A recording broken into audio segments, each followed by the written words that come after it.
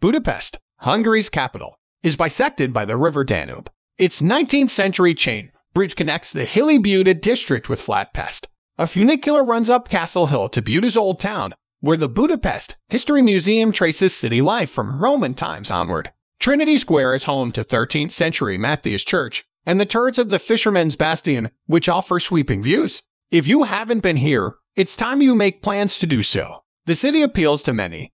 You can step out of a thermal bath and right into a nightclub and then back into the bath. In a city that dates back to the Old Stone Age, visiting history buffs can take their pick between Roman, Neo-Gothic, Renaissance, and Ottoman architecture at sites like Buda Castle and Fisherman's Bastion.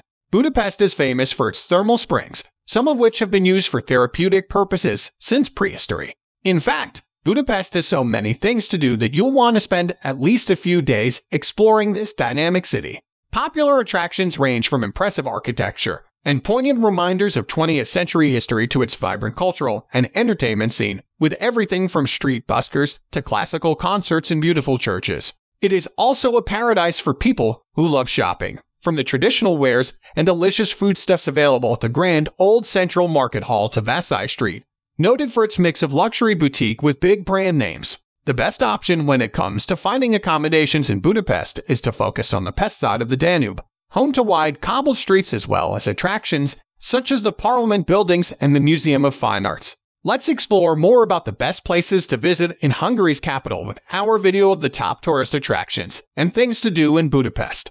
Before we get started, make sure you have subscribed our YouTube channel and click the bell button so you don't miss our new upcoming videos. 1. St. Stephen's Basilica St. Stephen's Basilica is a Roman Catholic basilica in Budapest, Hungary. It is named in honor of Stephen, the first king of Hungary, whose right hand is housed in the reliquary. It was the sixth largest church building in Hungary before 1920. Since the renaming of the primatial see, it has been the co-cathedral of the Roman Catholic Archdiocese of Esztergom Budapest. This is the most important church building in Hungary, one of the most significant tourist attractions, and today, it is the third largest church building in present-day Hungary. The roof, towers, and external walls were badly damaged in World War II, and the church's precious mosaics fell from the walls. However, these were successfully restored to their original place and are the highlight of the richly decorated interior.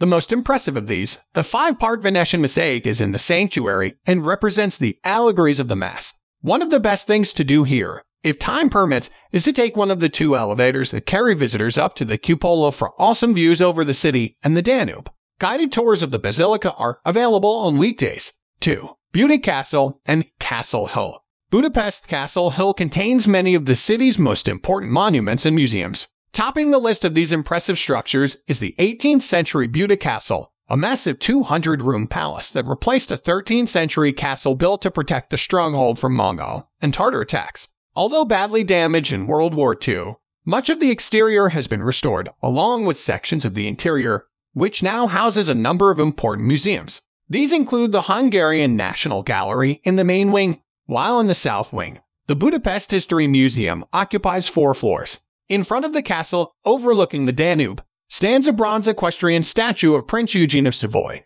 a hero of Turkish attacks on the city. Castle Hill is worth exploring for its medieval lanes and its Romanesque, Gothic, and Baroque architecture.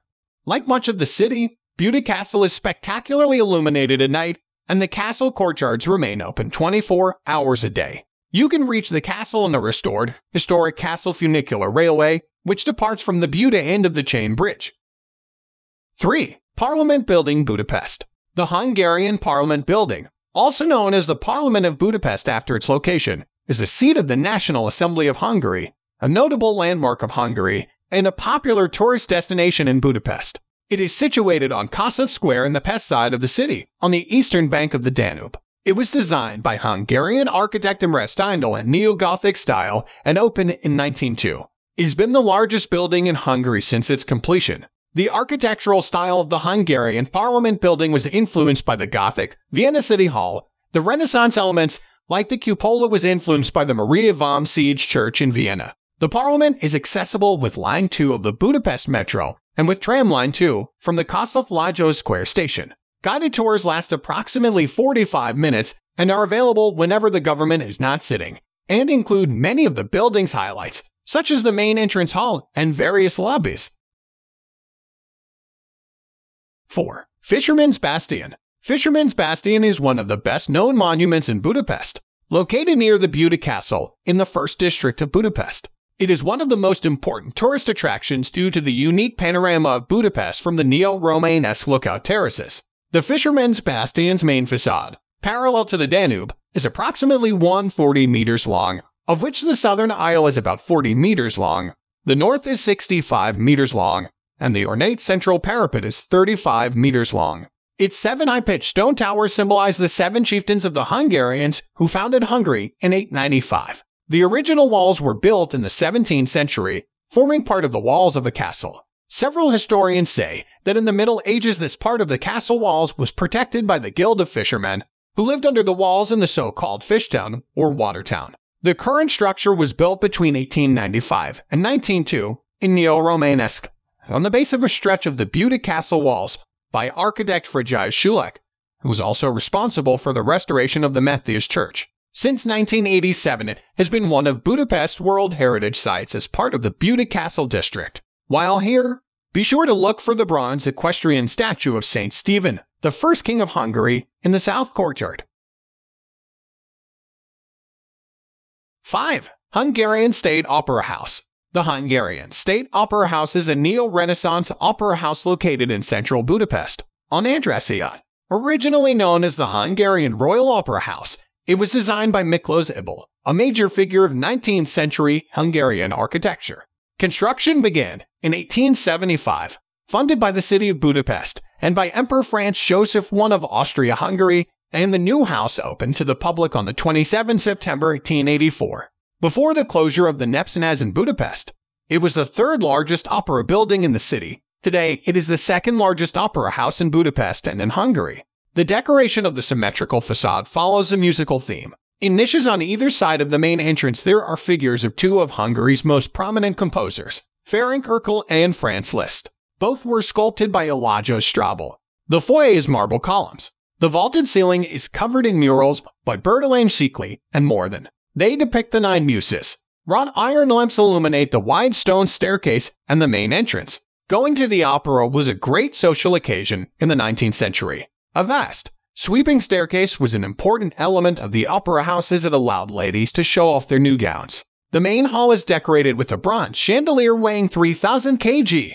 It illuminates a fresco by Károly Lotz depicting the Greek gods on Olympus. The central stage proscenium arch employed the most modern technology of the time. It featured a revolving stage and metal hydraulic machinery. 6. Matthias Church Matthias Church, also known as the Church of Our Lady, is a prominent landmark on Castle Hill. It was completed in 1269. During the Turkish occupation of 1541 to 1699, the church was used as a mosque and was later renovated in the Baroque style. It has been the scene of several historic events, including the coronation of King Charles I of Hungary in 1309 and the coronation of Emperor Franz Joseph I of Austria and his consort Elizabeth as rulers of Hungary. The free organ concerts held here on Sunday evenings are well worth attending. Also worth checking out, the Ecclesiastical Art Museum is located on the church's medieval crypt and features a collection of sacred relics, stone carvings, and replicas of the Hungarian crown jewels.